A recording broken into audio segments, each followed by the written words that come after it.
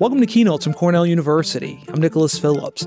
On today's episode, I'm joined by Juan Hinestroza, the Rebecca Q. Morgan Professor of Fiber Science and Apparel Design at the College of Human Ecology.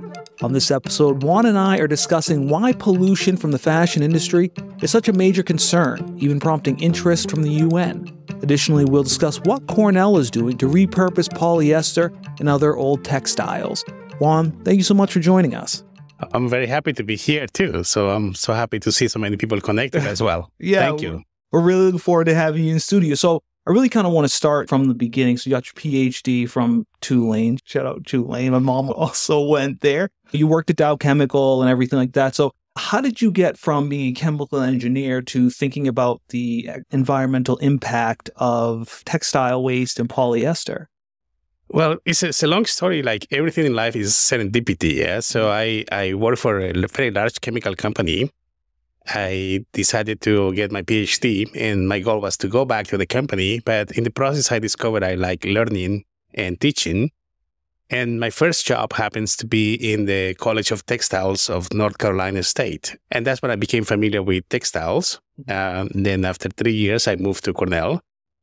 And I just enjoy making new materials, making new textiles. But in one of those trips I took overseas, I was able to see a little kid running with a Cornell t shirt. It's a beautiful country called Bhutan. And I, I saw this kid, I said, maybe this kid went to Cornell or his parents or his family. And it turned out that actually it was a, a landfill of used textiles. And then I started working, trying to asking myself how these clothes actually end up here. Mm-hmm. And then looking deeper, I went to other countries and I saw pollution, I saw all the waste, and then I decided that I would like to focus my research on trying to solve this this big problem. It's a, it's a humongous problem that textile waste generates. And because we don't see it here in the US, sometimes we think it, it, it's not a big issue, but it is. We are exporting a lot of waste. We are filling our landfills with textiles. We are textile industry, to give you an idea, textile industry, apparel and footwear mm-hmm. generate more carbon footprint than all the airlines and all the maritime shipping combined, which is a humongous number, yeah? And we don't see those effects. We don't get an idea. So if you have a hammer, you want to use your tools to everything looks like a nail. So in my case, we are chemists and we want to use chemistry to solve the problem. And luckily, I have fantastic students that uh, work on that, on that area. And what was that like for you to see one, that child with the Cornell shirt on, and then to see kind of the waste? Because, like you said, we don't really have it here in the US. Yeah, it was very shocking. I was in, a, in the north of India in a small town called Tirupur. That's maybe 12 years ago.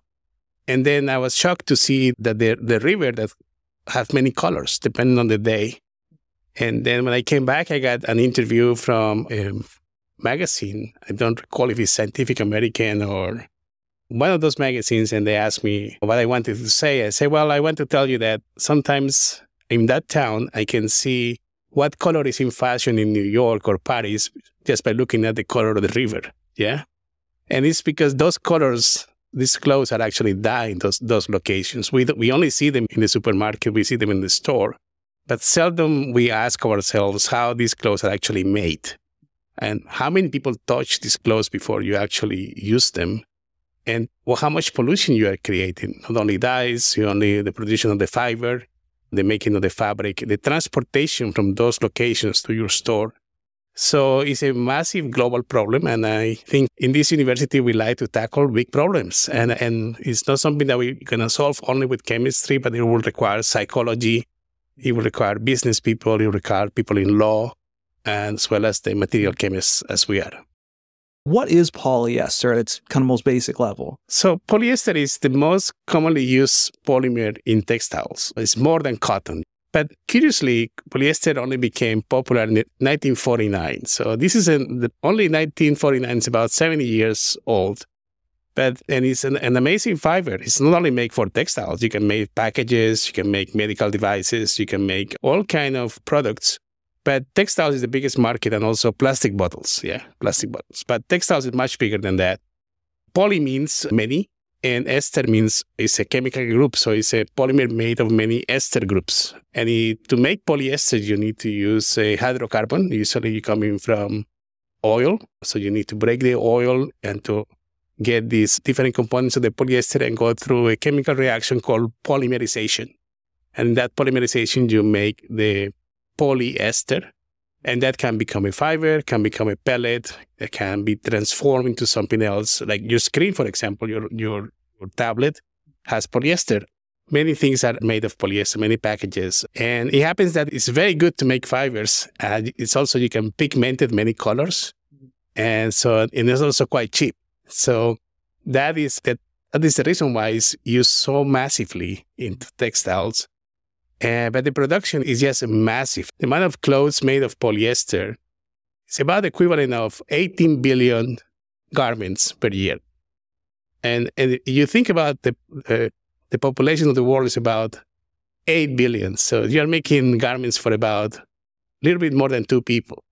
All the world, yeah. Uh, and but these markets are concentrated mostly in in North America, in Europe, and then the question is, what happens after you use your clothes? Because that's another issue. We don't use our clothes more than the average is about two to three times. Yeah. So we have these massive closets full of clothes that we don't use. And then what happens to them? Usually, what happens is more than 95, almost 95% of them end up in landfills. And in, when it end up in landfills, you're generating a massive amount of pollution. You are using the space for the garbage when the polyester that doesn't degrade easily takes hundreds of years to degrade, and and then it, polyester is not by itself. You have to use other chemicals to produce the clothes, like a, a finish, like a wrinkle resistant, like a water resistant, oil resistant. You need to use dyes. So all these little compounds leach away from the polyester and contaminate contaminate the water or contaminate the rivers. And also very simple acts like, for example, washing your clothes. If you wash your clothes, you generate huge amounts of microfibers.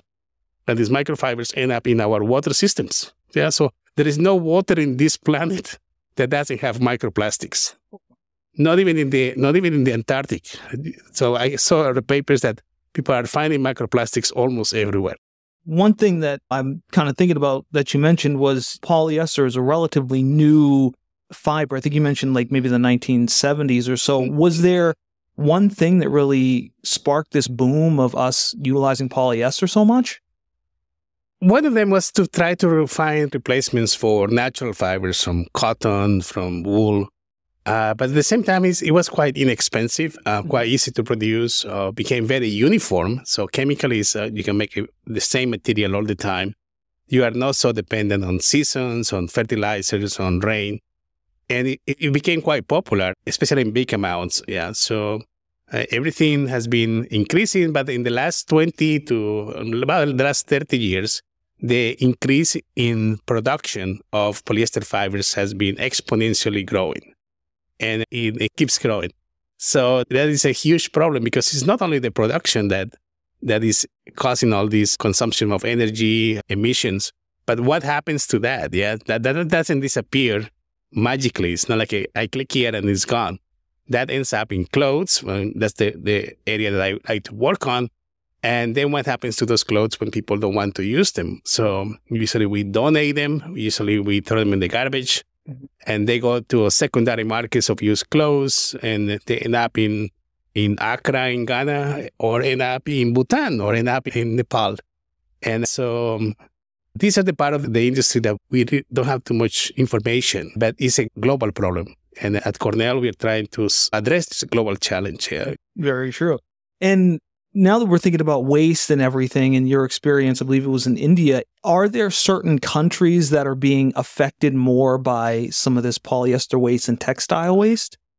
many countries, some countries uh, get paid to take garbage. Yeah, so we have countries like the Ivory Coast, so it's a famous one for getting garbage. And there are other countries that sometimes they are illegally accepting garbage. And then you see the consequences when they burn the garbage. You, you probably saw in the news what happened in Chile a few years ago, where people dump tons of clothes in the desert in Chile I have seen them in Malaysia, I've seen them in India, in Sri Lanka, in Nepal, in Bhutan, in Cambodia, is in Indonesia. So almost everywhere I've been, you, can, you have the problem. And, and if you look closely in the US too, you have some landfills, you have some situations in which the clothes are actually disposed.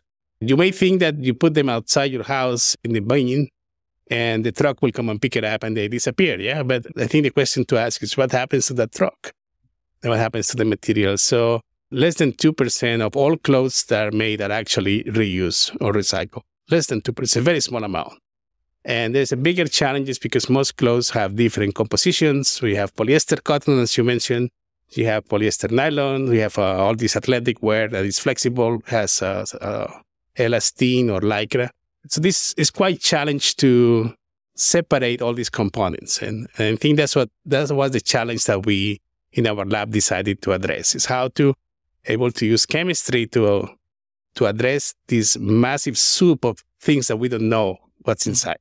And you talked a little bit about your work with the mm-hmm. UN and some of really the amazing work that's being done here at Cornell to help offset some of that waste. One thing that I'm thinking about is when did people start realizing that waste from polyester and other textiles being thrown away had a major impact on the environment? Well, there are many publications that came when people start finding microfibers inside fish, inside brains, inside water reservoirs. But I also have to say that the young people, the younger generations, started asking questions. How this is made? How many people touch my clothes before I use them?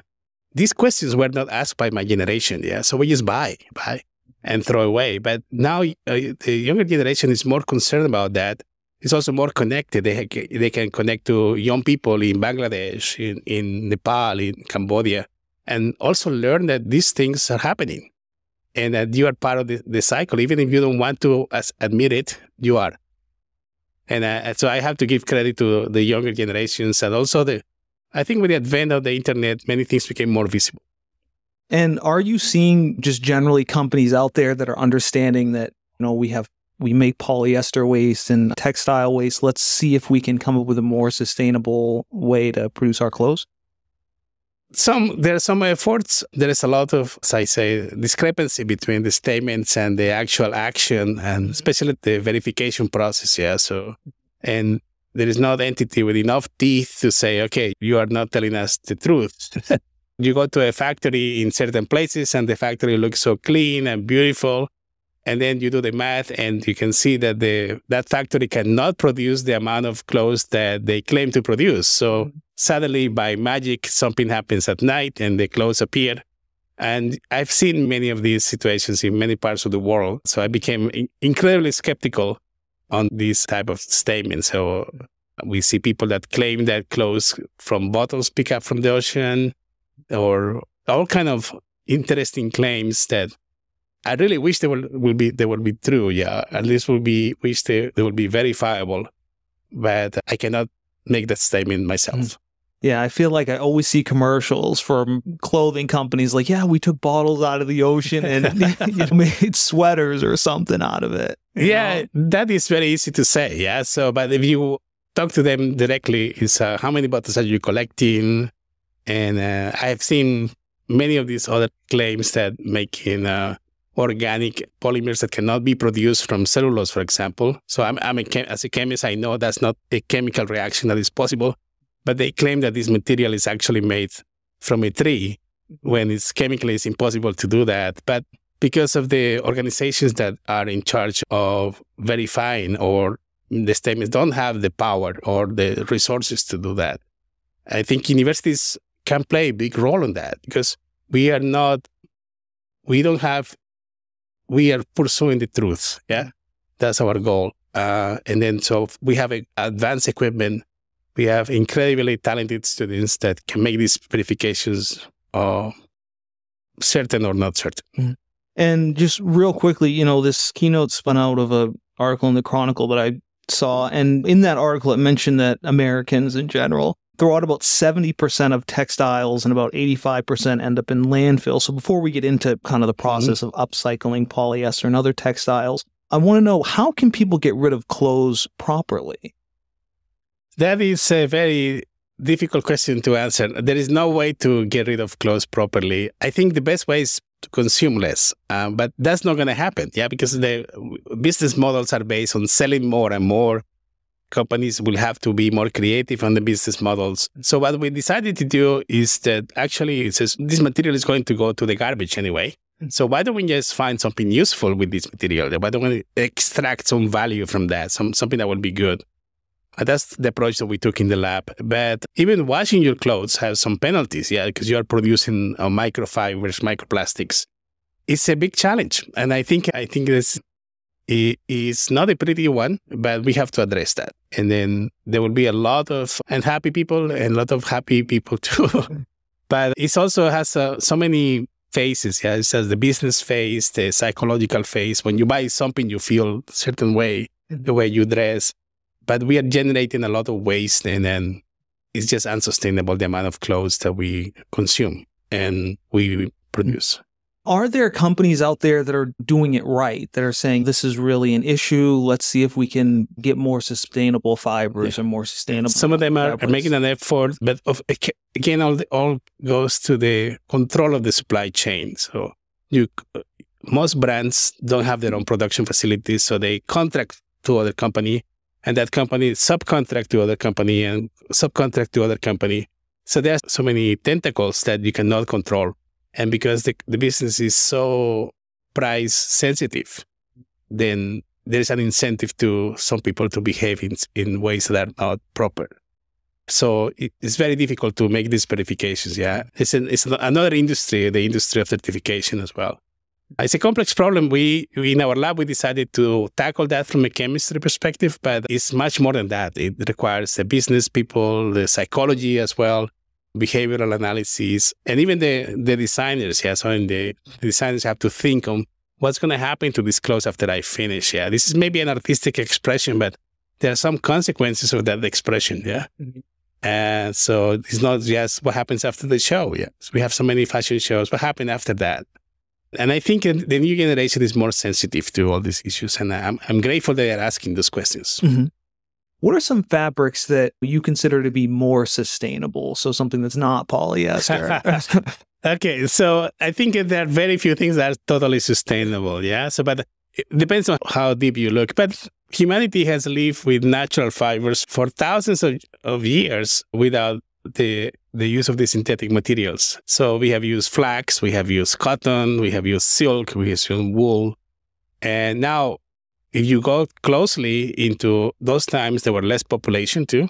But if you look into closely how much water is necessary for natural fibers to grow, then then you start having some questions or how much of food you need to provide to the sheep or how much methane and how much labor intensive is this? Yeah. So how much will you be willing to pay for a product that's come from these things? Yeah.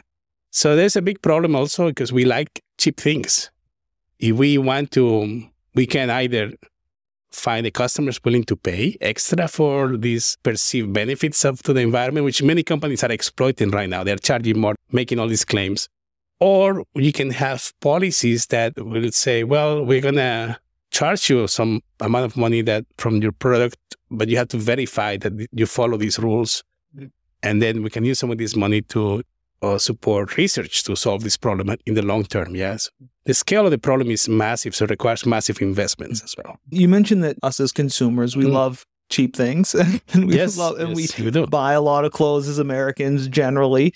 But I'm wondering what impact does this idea of fast fashion have on textile waste? I feel like I'm 35 almost, but I feel like when I was growing up, it wasn't really a major concept, but it really kind of only popped up. yeah, so it's about the last 30 years, uh, we see this explosion of fast fashion, which means that you can get access to designer clothes uh, with very cheap prices in a very fast, fast time. Yeah. Mm. And to do that, we have good companies that have been doing that for almost 30, 40 years. Mm.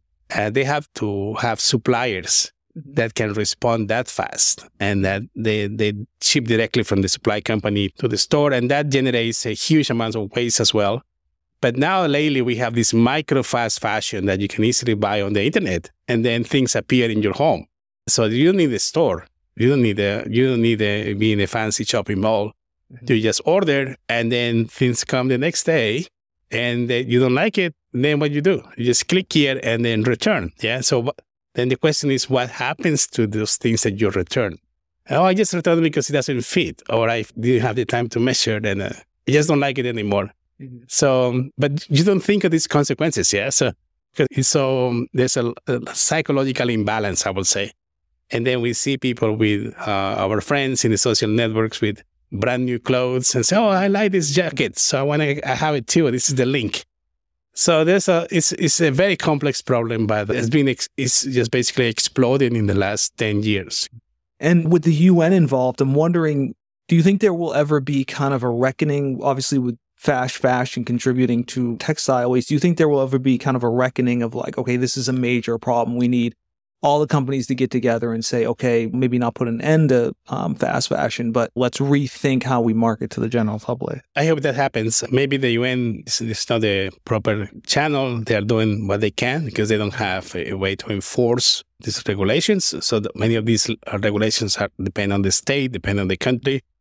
Speaking of labs, mm-hmm. I know you're doing amazing work here at Cornell, you and your students and the whole team over there why is polyester kind of the perfect material to upcycle and reuse?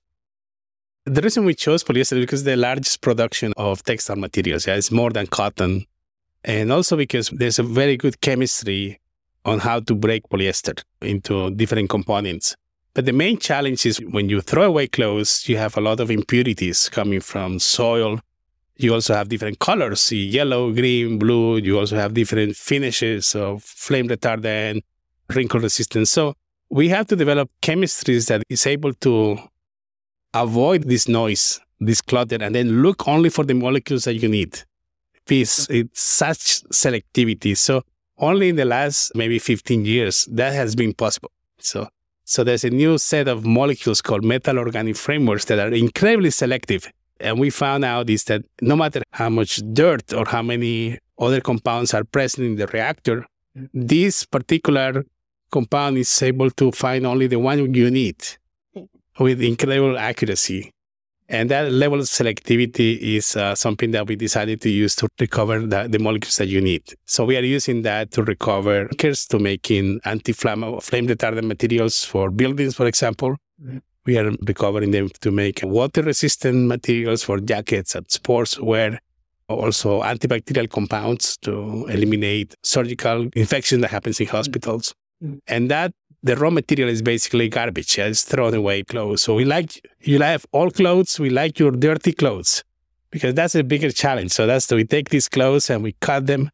And then we do the chemistry. I have an amazing student called Yelin, and then she found this way to actually capture these compounds. And we have great collaborators in chemistry and in material sciences mm-hmm. that can help us with that. No, I should have went with that as a title. We love your dirty clothes. that should, that we do. We do. Title.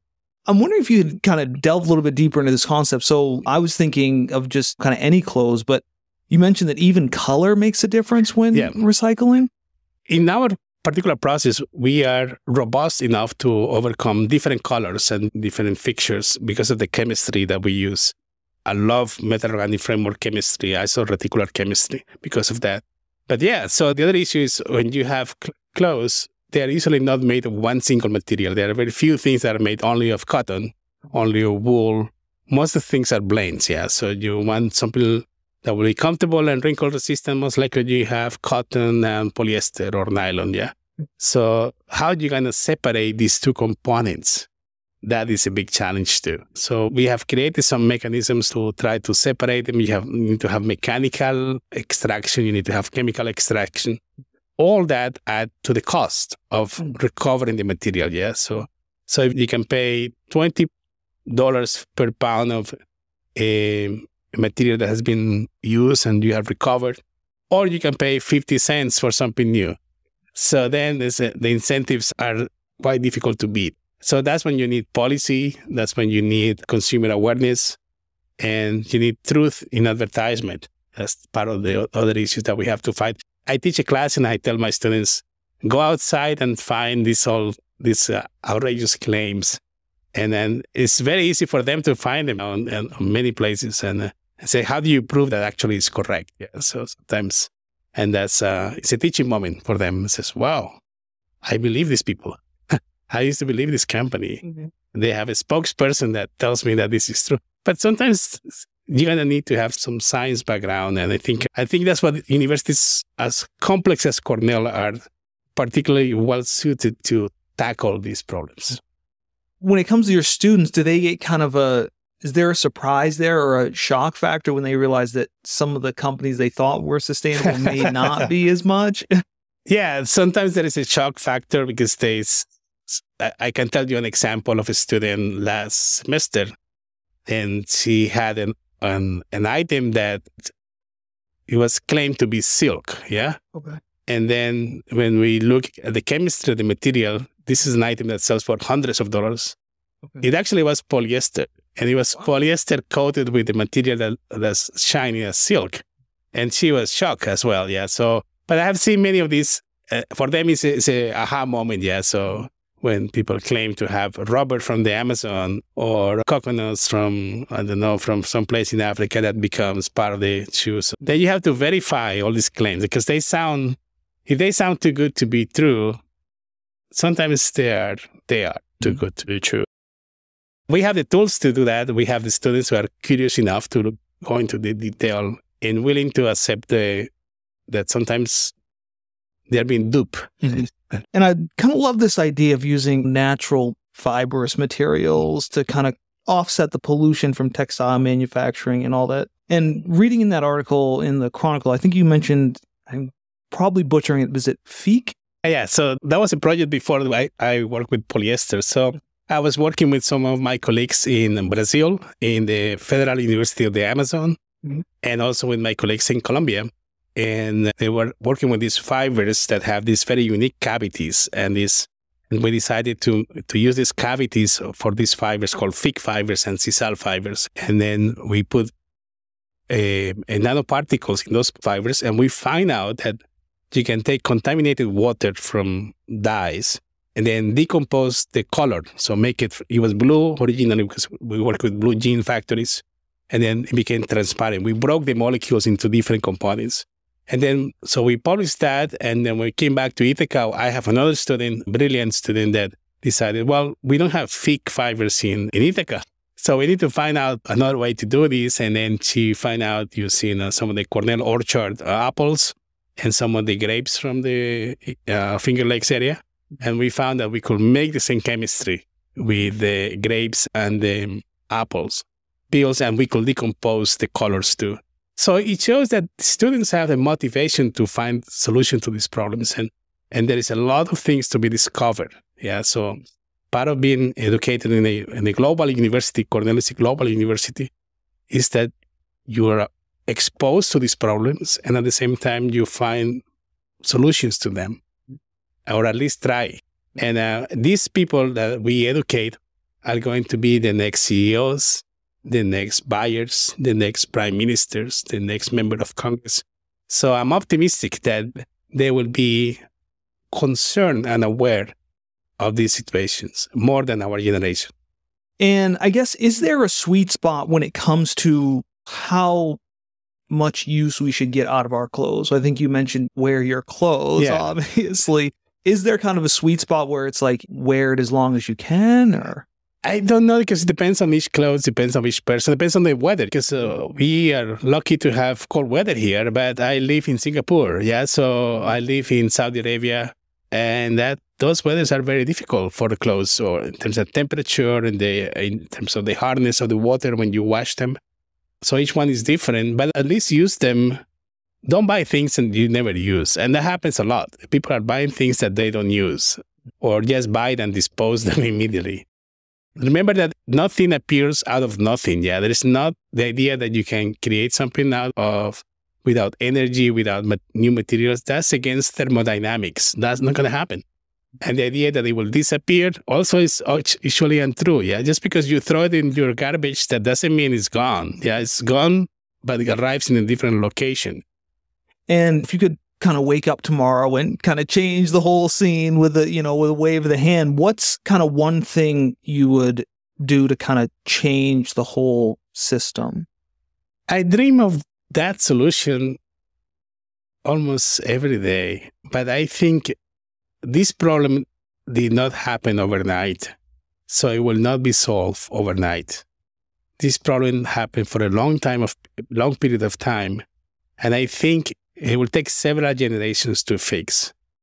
I'm a great believer that educating our students, make them aware of the situation and what they can do will solve the problem in the end. It's not gonna be easy. It's not gonna be fast, but it also was not it was not something that was produced in in in a short amount of time, so it will not be solved mm-hmm. that easily. So I think what you're saying is it's going to take a little while yes, for us to yeah. kind of come to a solution, essentially. It is it, because it took a while to actually create the problem, but we humans we have incredible ability to dream and to find solutions that were not possible. You think of all the things that were impossible 20 years ago and then, then we see together today. Like, for example, this podcast was not possible 20 years ago. I am optimistic that science and curious minds, if they are properly educated, they, they can find a solution. Well, Juan, thank you so much for coming in with us. My, My very last question is if you could kind of reach out to our audience, give them one thing to think about or one piece of advice regarding upcycling their clothes or not just putting their clothes yeah. in the garbage. What's that one thing you would want our audience to know regarding upcycling their clothes? I would say every time you buy something, ask questions. Question how many people touch these clothes before you actually are able to buy it and ask the question, what's going to happen to this after I finish using it? And then make an effort to find the answers. Sometimes they're hidden. Sometimes for marketing reasons, they're not visible. Question, question if the marketing uh, companies making these claims, question how you verify that actually is true. And I think it's the truth seek the truth. The truth will set you free, but also make sure that you're also part of this. This is this is a problem that you're also part of and admit that responsibility every time you make a purchase. You can keep buying as much as you want. Just think what what the consequences are, and and, and if you can contribute to the to help people who are tackling this problem, help them out. Thank you so much. If you enjoyed this episode, be sure to subscribe so you don't miss new episodes as they are released, wherever you listen to podcasts. To learn more about eCornell's online courses and on campus programs, Check out the episode notes for more information. Whether you're a busy professional or an impassioned lifelong learner, there is sure to be something that suits your goals and interests. Thank you for listening.